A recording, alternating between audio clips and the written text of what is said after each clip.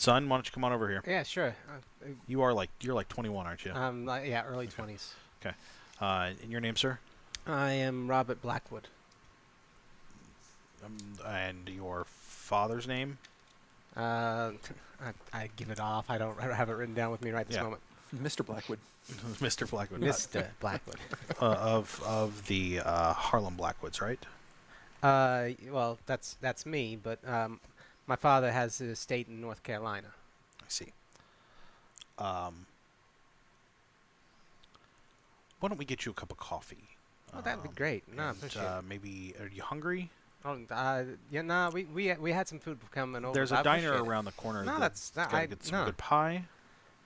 Now pie do- pie actually sounds pretty good though. He motions over. A couple of younger officers come over. Um, he says, uh, "To take take Mr. Blackwood here over to uh, get a piece of pie and anything else that he would like." And uh, they kind of they walk off like a block and a half down the street to a diner Mm. and take you inside. They don't seem to be all that chatty, Yeah. but they're happy to have you away from the scene. um, Officer Parks looks over. Um, Dolphus, you're wearing like uh like full on professor gear, like tweed Ah, jacket. pretty much what I'm wearing right here.